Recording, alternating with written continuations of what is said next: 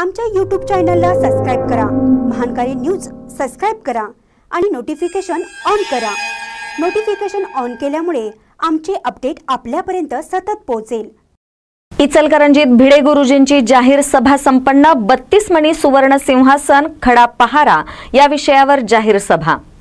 इचलकरंजीतील श्री शिवप्रतिष्ठानच्या वतीने गुरुवर्य संभाजीराव भिडे गुरुजी यांची जाहीर सभा हजारोंच्या उपस्थितीत संपन्न झाली.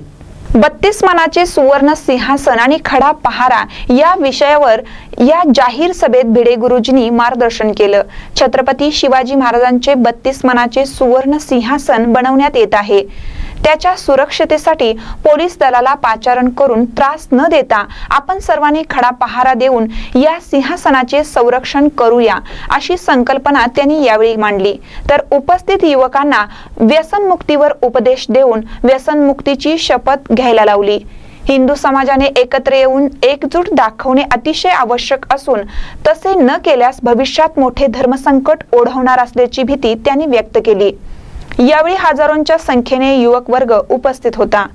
महानकर न्यूजसाठी इचलकरंजीहून दत्तात्रय कदम.